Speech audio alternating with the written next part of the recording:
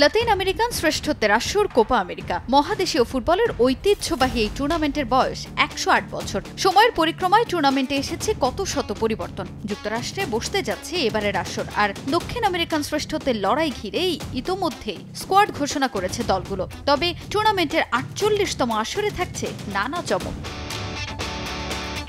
Copa আমেরিকায় এর আগে পুরুষ রেফারিদের দেখা গেলেও ভিন্নতা থাকছে এবার। একশো আট বছরের ইতিহাসে প্রথমবারের মতো দেখা যাবে নারী অফিসিয়ালদের। যুক্তরাষ্ট্রের মারিয়া ভিক্টোরিয়া পেনেসা ও ব্রাজিলের এদিনা অলভেজ এবার কোপা আমেরিকায় রেফারির দায়িত্ব পালন করবেন। দুজনেরই আছে এর আগে বিশ্ব আসরে রেফারিং করার অভিজ্ঞতা। দু হাজার তেইশ নারী বিশ্বকাপের ফাইনালে রেফারি হিসেবে দায়িত্ব পালন করেন পেনেসা। এছাড়াও এদিন অলভেজ গেল দু হাজার উনিশ ও দু হাজার তেইশ নারী বিশ্বকাপে ম্যাচ পরিচালনা করেছেন। শুধু তাই নয়, অভিজ্ঞ এই ব্রাজিলিয়ান দায়িত্ব পালন করেছেন ছেলেদের senior FIFA টুর্নামেন্টেও।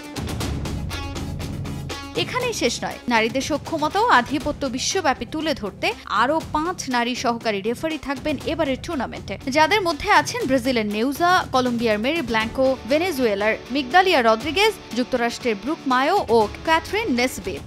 Video assistant referee হিসেবে নিকারাগুয়ার তাতিয়ানা গুজমান পালন করবেন দায়িত্ব। আনুষ্ঠানিক এক বিবৃতিতে বিষয়টি নিশ্চিত করেছে দক্ষিণ আমেরিকা মহাদেশীয় ফুটবলের নিয়ন্ত্রক সংস্থা কনমেবল